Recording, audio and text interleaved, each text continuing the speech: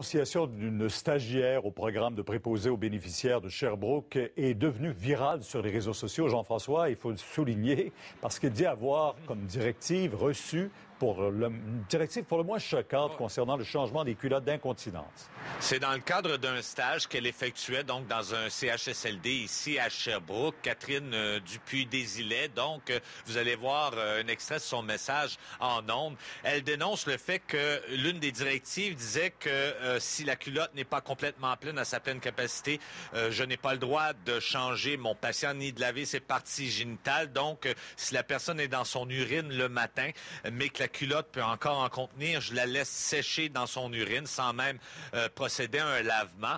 Euh, C'est des propos qui ont soulevé son indignation, qui ont euh, également provoqué des réactions en masse sur les médias sociaux. Vous allez entendre un extrait de l'entrevue qu'elle a donnée ce matin à LCN. Elle sera suivie du ministre de la Santé, Gaétan Barrette. Mon patient, sa culotte est essuyée. Si ça fait, supposons, six heures qu'il dort puis que sa culotte n'a pas été changée, moi, dans le fond, avec une nouvelle directive, j'aurais à le laisser comme ça jusqu'à temps que sa culotte soit complètement pleine, à moins qu'il y ait des selles à l'intérieur. directive au ministère de la Santé et certainement pas au ministère de l'Éducation euh, de cet ordre-là. Euh, il n'y en a pas. Alors maintenant, s'il y a des directives euh, inopportunes qui sont données localement, ben, on va faire la vérification. Je vous dis, moi, qu'au ministère de la Santé, cette directive-là ou ce mode de formation-là n'existe pas.